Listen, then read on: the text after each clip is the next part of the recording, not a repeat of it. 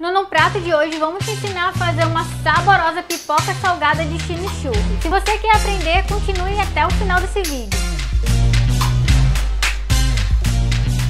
Para começar aqui a nossa pipoca de chimichurri, vamos colocar uma colher de sopa de manteiga.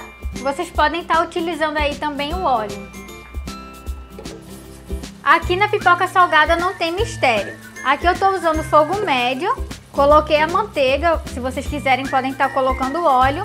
Já esquentou aqui e agora eu vou colocar meia colherzinha de chá de açafrão para dar aquela corzinha na pipoca. Vamos misturar aqui.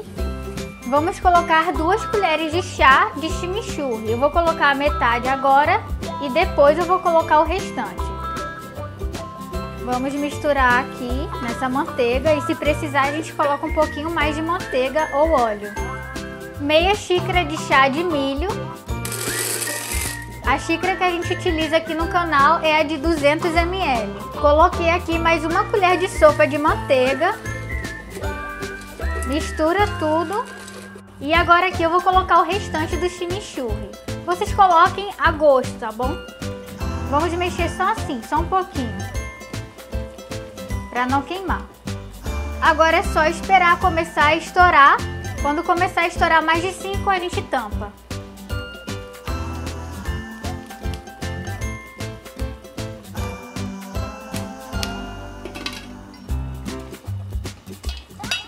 Quando começar a estourar bem, vocês diminuem esse fogo. Demorou 2 segundos entre um estouro e outro, vocês já desliguem, tá certo? Para não queimar essa pipoca.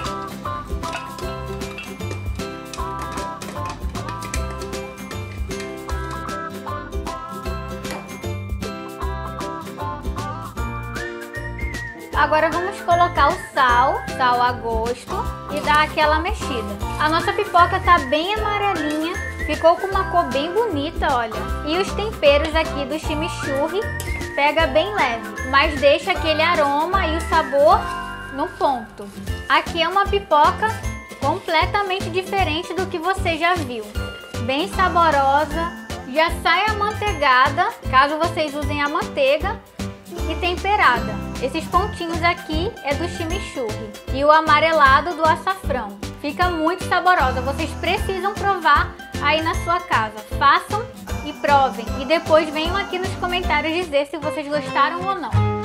Se vocês tiverem alguma dica de um sabor diferente, digam aqui nos comentários que a gente vai fazer o teste e trazer aqui para o canal. E qualquer dúvida desse vídeo, deixem aqui embaixo nos comentários também, tá certo? Não esqueça de deixar o seu like e se inscrever aqui no nosso canal. Muito obrigada por ter ficado até aqui e até a próxima receita do No Prato.